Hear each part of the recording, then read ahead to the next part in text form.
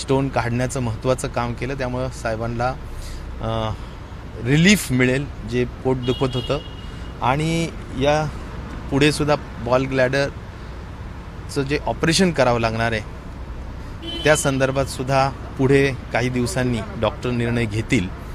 परंतु साहेब सध्या एकदम स्टेबल आहेत आणि चिंता करण्याचं कुठलंही कारण नाही. दोघांच्या पोटात दुखू लागल्यानंतर त्यांना ब्रिज कॅन्डी हॉस्पिटल इथे भरती करण्यात आलं.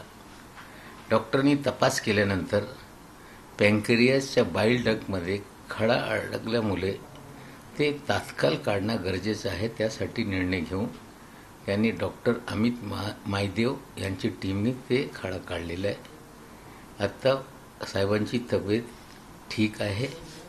पॅरामीटर व्यवस्थित झाल्यानंतर गॉल ब्लेडरची जी शस्त्रक्रिया आहे ते नंतरच्या काळात ते करतील